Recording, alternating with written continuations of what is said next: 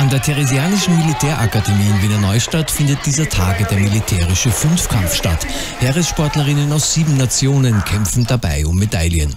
Am Donnerstag wird das Hindernisschwimmen ausgetragen mit einem besonderen Fan im Publikum. Verteidigungsministerin Claudia Tanner feuert unsere Heeressportler kräftig an.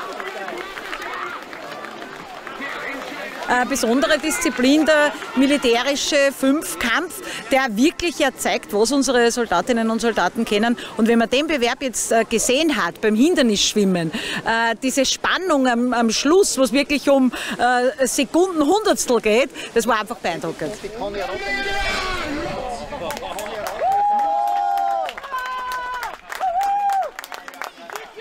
Mit 27,6 Sekunden setzt sich die Österreicherin Cornelia Roth durch und schwimmt damit exakt die gleiche Zeit, mit der sie 2019 neuen österreichischen Rekord aufstellt.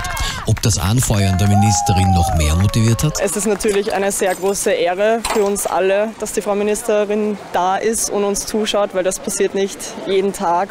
Und umso mehr wollten wir halt auch zeigen, was in uns steckt und wofür wir eigentlich die ganze Zeit trainieren. Also immer wenn es die Zeit erlaubt, äh, werde ich mit dabei sein und wenn es hilft ja, und wenn ich damit unsere Sportlerinnen und Sportler anfeuern kann, dann werde ich das jedenfalls tun. Noch viel wichtiger ist aber, dass wir dieses äh, Wesen, dieses militärische Sportwesen, so wie wir das im Ressort haben, und das ist wirklich vergleichbar und besser als in vielen anderen Staaten, dass wir das weiterleben und ausbauen, unsere Heeressportlerinnen und Sportler unterstützen. Und wir haben so viele großartige Trainer, Bewerber, äh, die da mitarbeiten. Und nur dann sind, wie gesagt, solche Leistungen möglich, wie wir sie heute erleben. Und einmal mehr zeigt sich die Bedeutung des Heeressports, denn ohne Militär kein Fünfkampf dieser Form.